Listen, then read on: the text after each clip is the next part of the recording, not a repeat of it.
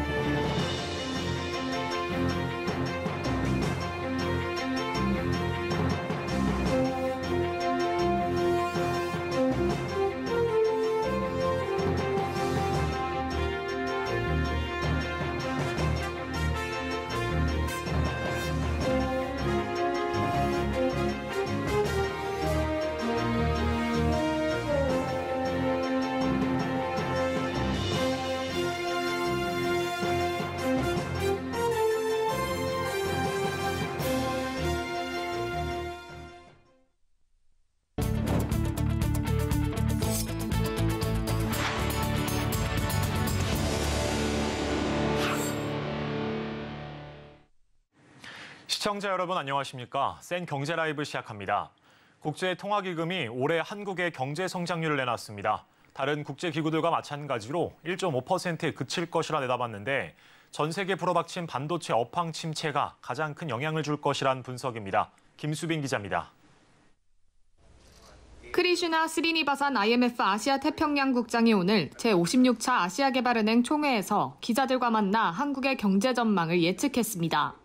먼저 IMF는 올해 한국 경제 성장률에 대해 보수적인 전망치를 제시했습니다.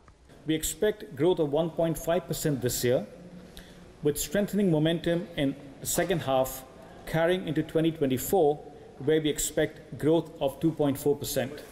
한국은 교역 상대국과 세계 경제의 영향을 받아 성장이 둔화됐다고 진단했습니다. 특히 반도체 경기 침체가 크게 영향을 미치고 있다는 분석입니다. 그러면서도 올해 1분기 자동차 출하량 증가와 또 중국의 빠른 리오프닝 효과에 따라 올해 하반기부터 경기 순환이 이뤄질 것이라 예측했습니다. 한국의 통화 정책에 대한 긍정적인 평가도 이어졌습니다. 지난 2월과 4월 기준금리를 동결한 것에 대해 적절히 보류했다고 평했습니다. 하지만 아직 근원 물가가 결정적으로 하락하지 않았기 때문에 섣부른 완화는 피해야 할 것이라고 조언했습니다. IMF는 아시아 지역에서 특히 중국이 경제에 미치는 영향력이 크다고 분석했습니다. 올해 아시아 지역의 성장률은 4.6%로 상향 조정했는데 배경으로는 리오프닝 이후 수출이 급격하게 반등하고 있는 중국을 꼽았습니다. 한편 한국은행도 우리나라 경제 성장률을 당초 예상했던 전망치인 1.6%보다 소폭 낮아질 것으로 예상하고 있습니다. IMF를 비롯한 아시아 개발은행 등 국제기구들은 모두 1.5%로 내다본 한편 S&P는 1.1%로 내려잡기도 했습니다. 올해 성장률의 적색 등이 켜진 만큼 경제를 반등시키기 위한 정부의 발빠른 대처가 필요해 보입니다. 서울경제TV 김수빈입니다. 올해 3월 수도권 아파트 거래량이 크게 늘었습니다. 부동산 하락세가 이어진 지 적지 않은 시간이 흐른 만큼 집값이 내려올 만큼 내려왔다는 판단이 작용한 것으로 분석됩니다. 서청석 기자입니다. 지난 3월 수도권 아파트 거래량이 16개월 만에 최고 수준을 기록했습니다. 급매물이 팔리면서 직전 거래가보다 오른 값에 거래되는 상승 거래 사례도 늘고 있습니다. 한국 부동산원 통계에 따르면 올해 3월 수도권 아파트 매매 거래량은 15,815건으로 지난 2021년 10월 16,422건 이후 가장 많았습니다. 특히 올해 1분기 수도권 아파트 거래량도 약 3만 4천 건으로 전분기보다 2배 이상 늘었습니다. 지역별로 보면 경기도에서는 화성시, 용인시, 시흥시 등에서 많은 거래량이 나왔고 서울에서는 은평구가, 인천에서는 서구의 매매량 증가가 두드러졌습니다. 거래량이 증가하면서 하락 거래 비중도 줄고 있습니다. 지난 3월 서울에서 거래된 아파트 중 5% 이상 거래가가 떨어진 비중은 29.5%로 9개월 만에 30% 이하로 줄었습니다. 전국에서도 5% 이상 하락 거래 비중은 29.3%를 기록해 지난해 6월 이후 처음으로 20%대로 떨어졌습니다. 반면 5% 이상 상승한 가격에 거래된 아파트 비중은 지난달 25.2%로 늘었습니다. 업계 전문가는 최근 금리 안정과 정부의 규제 완화 효과에 수도권의 각종 부동산 지표들이 회복세를 보이고 있다며 분양 시장에 대한 기대감도 덩달아 커지고 있다고 설명했습니다. 부동산 회복 기대감을 증명하듯 2030 세대의 아파트 매매도 증가하고 있는 추세입니다. 지난 3월 서울시 전체 아파트 거래 3,234건 가운데 2030 세대 매수 건수는 1,161건으로 나타났습니다. 2030의 서울 아파트 매수 비중은 올해 1월 30.8%, 2월 34.7%, 3월 35.9%로 3개월 연속 증가하고 있습니다. 서울경제TV 서청석입니다. 지난해부터 교통사고 중대가실 법률이 강화되면서 운전자 보험 가입이 크게 증가하고 있는데요. 특히 올해는 운전자 보험이 새로 도입된 회계 제도에 유리하다는 판단 때문에 손해보험사들이 틈새 시장 공략까지 나서면서 경쟁도 치열해지고 있다고 합니다. 김미영 기자입니다. 주춤했던 운전자 보험에 대한 관심이 다시 높아지고 있습니다. 2020년 530만 건에 달했던 운전자 보험 신계약 건수는 2021년 과열 경쟁에 따른 부작용 우려가 커지면서 440만 건으로 급감했다가 지난해 다시 480만 건으로 껑충 뛰었습니다. 운전자 보험 가입이 증가한 건 지난해 도로교통법 개정으로 교통사고에 따른 형사처벌 위험이 확대된 영향으로 풀이됩니다. 이런 높은 성장세는 당분간 계속될 전망입니다. 교통사고 예방을 위한 법률 강화 추세가 계속되고 있기 때문에 작년 같은 경우에는 한 18% 정도 성장을 했는데 이런 추세가 당분간은 뭐 비슷하게 유지되지 특히 새 회계 기준이 반영되는 올해는 높은 보험 계약 마진 CSM을 남기는 게 매우 중요해지면서 CSM이 높게 평가되는 운전자 보험 유치를 위해 손보사들의 경쟁이 한층 더 치열해질 거라는 게 업계 내 관측입니다. 실제로 최근 캐롯과 NH농협 손해보험은 기존 상품보다 보장은 넓힌 반면 보험료는 할인한 상품을 잇따라 내놨고 현대해상과 삼성화재는 오토바이 등 이륜차 운전자 보험 시장에 새롭게 뛰어들며 틈새 시장 공략에 나섰습니다. 특히 이륜차 시장은 사고 발생 건수에 비해 아직 가입률이 극히 낮아 성장성이 클 것으로 업계는 전망하고 있습니다. 다만 판매 확대를 위해 보험사마다 경쟁적으로 보장을 늘리면서 금융감독원이 최근 과열 경쟁에 대한 자세를 당부한 상황. 과열 경쟁을 막기 위해선 적절한 보장 한도와 자기 부담금 설정 등의 사전 위험 관리가 정책적으로 뒷받침돼야 한다는 게 전문가들의 지적입니다. 서울경제TV 김미연입니다. 어린이날인 내일 전국적으로 비가 내릴 것으로 보입니다. 야외 행사를 준비 중이던 단체들은 급하게 행사 날짜를 미루는 등 대책 마련에 나섰는데요. 궂은 날씨에 백화점이나 영화관들 찾는 가족 단위 방문객은 오히려 늘어날 것으로 보입니다. 이호진 기자입니다. 기상청은 오늘 오후부터 전국적으로 내리기 시작하는 비가 어린이날인 내일 하루 종일 이어질 것으로 예상했습니다. 특히 일부 지역에는 호우특보가 내려질 정도로 많은 비가 내릴 것으로 전망돼 나들이를 기대하던 어린이들의 마음에도 먹구름이 들이우고 있습니다. 엔데믹 후 첫 어린이날을 맞아 야외 행사를 준비하던 지자체와 테마파크들은 당혹감을 감추지 못하고 있습니다. 서울시는 어린이날 당일 책 읽는 서울광장에 9m 높이의 핑크퐁 조형물을 세우고 미끄럼 에어바운스 등 놀이기구를 설치할 예정이었지만 우천 예보로 일정을 주말로 미뤘습니다. 성남시청은 어린이날 행사를 전면 취소했습니다. 어린이날 대목맞이에 분주했던 롯데월드, 에버랜드 등 테마파크들도 울상을 짓고 있습니다. 기구별 운영 지침이 다르기 때문에 비가 온다고 해서 놀이기구의 운행이 완전히 중단되는 것은 아니지만 강수 확률 80%를 웃도는 비 예보에 테마파크를 찾는 발길은 확연히 줄어들 것으로 보입니다. 반면 비 소식에 백화점, 영화관 등을 찾는 고객들은 오히려 늘어날 것으로 전망됩니다. 맘카페 등 커뮤니티에 올라온 어린이날 관련 게시물을 보면 백화점, 영화관 등 실내 시설 방문을 예고하는 댓글들이 심심찮게 등장합니다. 백화점과 영화관 역시 어린이날 손님 맞이에 한창인 모습입니다.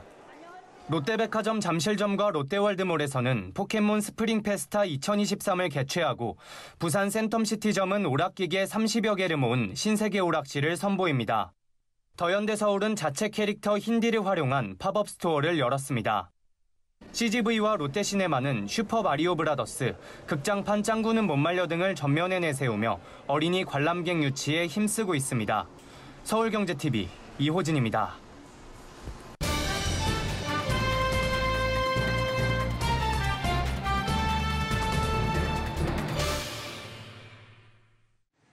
SG발 주가 폭락 사태 여진이 지속되고 있습니다. 특히 이번 사태의 배우로 지목되고 있는 라더견 대표는 오히려 자신이 피해자라고 주장하고 있는데요.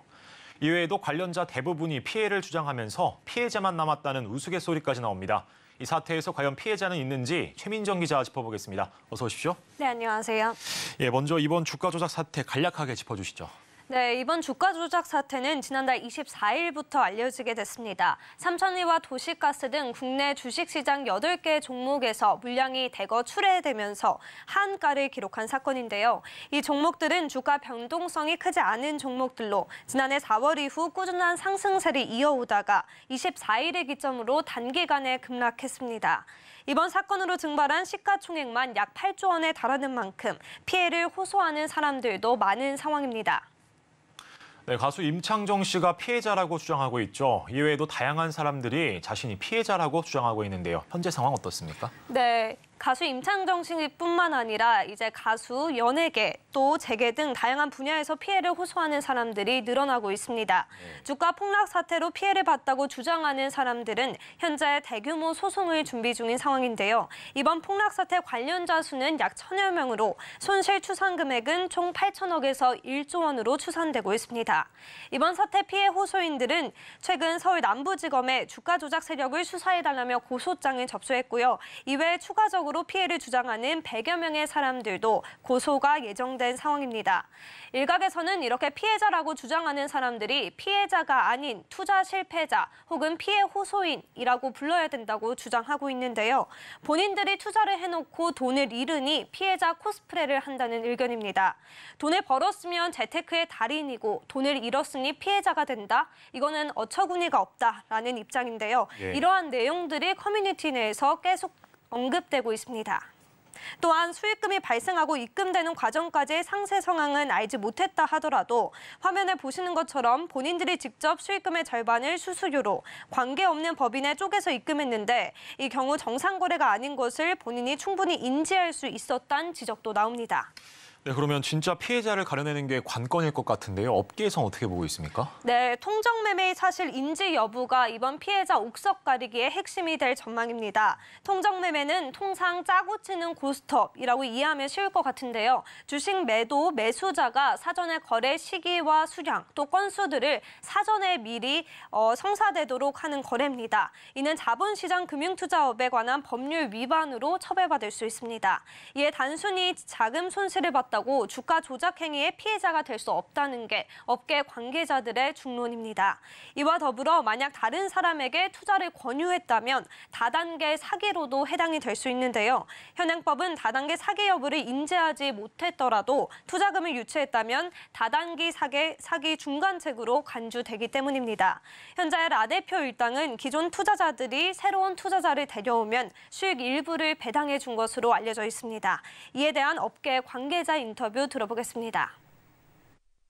그 피해자 중에서 일부는 적어도 시장 질서 교란 행위나 아니면 시세 조정 혐의에 적용될 가능성이 높은 것으로 보입니다. 투자 권유는 투자 권유를 할 수 있는 이른바 라이센스를 보유한 분들, 그런 기관에 소속된 분들만 할 수가 있는 거고요. 그렇지 않고 무인가로 투자 권유를 하는 것은 자본시장법 위반에 해당이 됩니다. 그러면 이번 사태를 계기로 자본 시장에 변화가 필요할 것 같은데요. 대책은 어떤 것들이 있습니까? 네, 금융당국은 이번 사건의 통로가 됐던 CFD, 즉 차액결제 거래를 손볼 예정이라고 밝혔습니다. 지난 2일 금융위원회는 금융감독원, 거래소 관계 임원 회의를 개최해 CFD 등 제도 개선이 필요한 부분을 철저하게 보완해 나가겠다 이렇게 밝혔는데요. CFD가 개인이 실소유자여도 외국계 등 기관 매수로 표기되는 점, 신용융자와 유사하지만 신용 공 종료 한도 산정 때 제외되는 점, 종목별 매수 잔량 등의 공시 미비, 투자자 대부분이 개인 전문 투자자라는 점 등이 이번 개선 대상입니다. CFD 개선안 윤곽은 다음 주 국회 정무위원회 현안 질의에서 나올 것으로 예측됩니다. 더불어 전날 금감원은 키움증권 조사에 착수하기도 했는데요. 키움증권을 시작으로 다른 증권사의 CFD 거래 내역도 면밀하게 살펴본다는 방침입니다. 다만 소 읽고 외양간 고치냐며 정부의 뒤늦은 대책 마련에 비판의 목소리도 큰 상황입니다. 특히 금융위에서 해당 사안을 4월 초에 확인했음에도 대응이 늦어졌던 거 아니냐는 지적과 함께 검찰에서 이와 관련된 사안을 확인한다는 입장이어서 늦장 대응에 대한 지적은 피할 수 없어 보입니다. 예, 오늘은 주가 조작 사건의 내용부터 대책 마련까지 최민정 기자와 짚어봤습니다. 오늘 말씀 고맙습니다. 네, 감사합니다.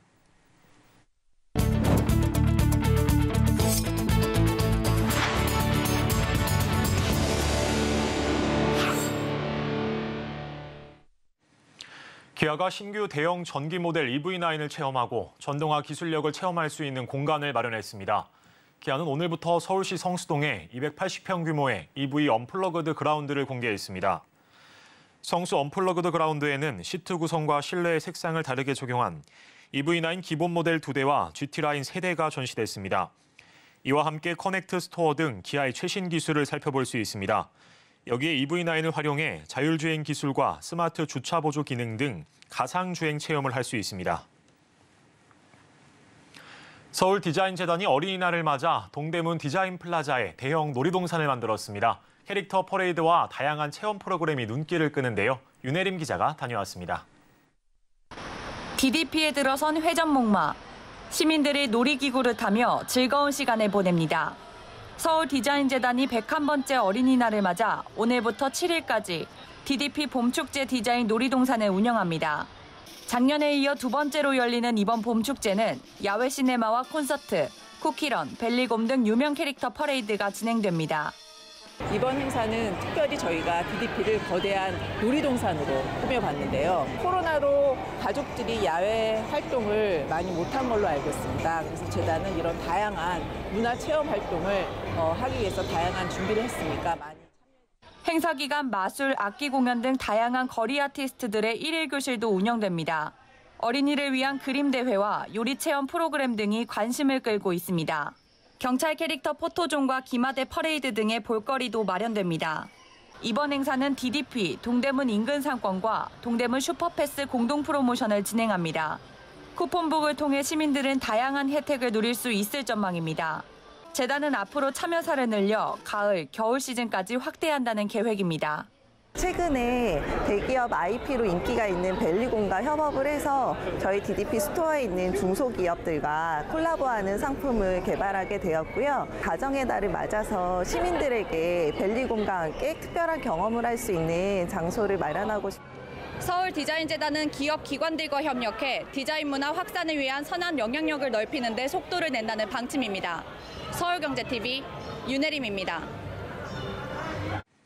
서울 마주협회와 한국마사회가 101번째 어린이날을 맞아 어린이의 생명을 살리고 꿈을 응원하는 캠페인을 펼칩니다. 이들 기관은 101명의 수호천사 찾기 캠페인을 통해 위기 아동에 대한 후원을 해나갈 계획인데요. 성나균 기자가 보도합니다. 서울 마주협회와 한국마사회가 오늘 학대 위기 아동을 돕기 위해 손을 맞잡았습니다. 이들은 이번 101번째 어린이날을 맞아 101명의 수호천사 찾기 캠페인을 진행했습니다. 이날 행사에는 조용학 서울마주협회 회장, 정기환 한국마사회 회장, 최불암 초록우산 어린이재단 회장 등 주요 관계자들이 참석했습니다. 이 캠페인은 최근 사회적 논란이 되고 있는 아동학대 피해 어린이에 대한 후원 활동을 강화하고 말을 통한 나눔 문화 확산을 위해 추진됐습니다. 지원 사업은 초록우산 어린이재단 경기지역본부가 수행기관으로 참여하고 서울마주협회와 한국마사회가 각각 천만 원씩 후원하는 방식으로 진행됩니다. 기부금은 어린이들을 위한 선물, 보호소 물품 구매, 시설 지원 등에 활용될 예정입니다. 저희 마주들은 지난 30년 동안 우리 사회의 어려운 이웃을 돕기 위한 다양한 봉사활동을 지속해왔고 앞으로도 우리 사회의 어려운 이웃들, 특히 어린이들을 위한 나눔을 계속하고 서울마주협회와 한국마사회는 한국 경마산업 육성에도 힘쓰는 한편 도움이 필요한 어린이들에게 계속해서 온정의 손길을 건넨다는 방침입니다. 서울경제TV 성낙윤입니다. 르노 코리아 자동차가 어린이날 연휴를 맞아 오는 7일까지 팝업 스토어를 엽니다. 신차도 타보고 신차에 적용된 기술과 서비스도 체험할 수 있는데요. 박세아 기자가 현장을 둘러봤습니다. 휴대폰이나 태블릿을 통해 키워드를 입력하면 AI 기술로 원하는 디자인의 SM6 이미지가 생성됩니다. 차의 색상과 휠의 크기를 지정해 나만의 차량을 만들고 사진으로 출력할 수도 있습니다. 르노 코리아가 서울 서초구 반포동에 문을 연 르노 Experience 팝업 스토어 현장. 음악 큐레이션 채널과 협업으로 운영되는 청음존에서는 헤드폰을 통해 르노 코리아 브랜드 이미지를 적용한 음악을 들을 수 있습니다. 이때 헤드폰에서 경험하는 사운드는 르노 코리아 차량에 적용된 기술과 동일합니다. 고객들의 눈높이에 맞추기 위하여 새로운 상품과 서비스를 직접 체험할 수 있는 공간으로 만들었습니다. 이번 르노 Experience와 같은 체험 위주의 접점을 늘리고 고객 만족을 늘리는 방문객은 운전 중 긴급 상황이 발생했을 때 원격 도움을 받을 수 있는 assist call을 체험해 볼 수 있습니다. 야외 시승 프로그램에 참여한 소비자는 차 안에서 식음료를 주문하고 결제부터 픽업까지 할 수 있는 in-car payment 서비스를 체험할 수 있습니다. 르노 Experience 팝업 스토어에는 XM3 E-Tech 하이브리드, SM6 TC300 Inspire, QM6 Quest 등 최신 차량 전시와 함께 소비자 상담도 진행됩니다. SM6 시승했고요. 차가 특히 안마 의, 운전석에 안마 기능이 있어서 좋았어요. 뭐 앞으로 뭐 자주 있으면은 저 시승 신청해서 타고 싶네요. 르노 코리아는 고객 경험을 확대할 수 있는 프로그램을 지속적으로 마련해 시장 공략에 속도를 낸다는 계획입니다. 서울경제TV 박세아입니다.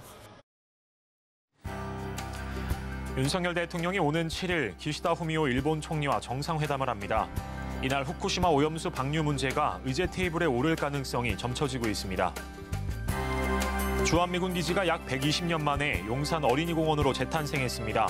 공원 개방을 기념해 5월 한 달간 버블쇼와 풍선 아트 등 어린이를 위한 다양한 이벤트도 진행될 예정입니다. 카카오가 한국어 특화 초거대 AI 모델 코 GPT의 업그레이드 버전 코 GPT 2.0의 공개 일정을 올 하반기로 미뤘습니다. CJ ENM은 1분기 연결 기준 영업 손실 503억 원을 기록했습니다. 커머스를 제외한 모든 사업 부분의 영업이익이 전년 대비 감소하면서 적자로 돌아섰습니다.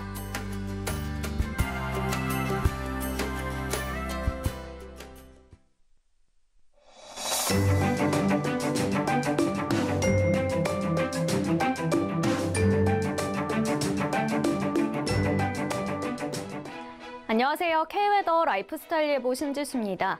어린이날 연휴 전국에 큰 비가 내리겠습니다. 호우특보가 내려진 제주도와 남해안은 토요일인 모레까지 많게는 300mm 이상, 제주 상간은 400mm 이상의 폭우가 쏟아지겠고요. 그 밖에 전국으로도 30에서 80, 중부 많은 곳은 120mm 이상 내리겠습니다. 모레까지 비가 내리는 지역에서는 천둥 번개가 동반될 수 있겠습니다. 바람도 거세겠는데요. 전국의 해안가와 제주도를 중심으로는 특히 더 강한 바람이 집중되겠습니다. 시설물 점검을 철저히 해주시길 바랍니다. 다음은 자세한 지역별 날씨입니다. 중부지방 아침 기온 서울 19도, 대전 17도로 시작해 한낮 기온은 21도 예상됩니다. 동해안 지방은 아침 기온 15도 안팎으로 출발하겠고요. 한낮에는 속초 17도 보이겠습니다. 남부지방 전주 19도, 대구가 17도로 시작해 낮에는 전주 22도, 대구 21도 예상됩니다. 내일 해상에는 최고 4에서 5m로 매우 높은 물결이 일겠습니다. 토요일까지 전국에 비 소식이 있고요. 남해안과 제주도는 일요일에도 비가 내릴 전망입니다. 날씨였습니다. 센 경제 라이브 저희가 준비한 소식은 여기까지입니다. 즐거운 어린이날 주말 연휴 보내시길 바랍니다. 함께해 주신 여러분 고맙습니다.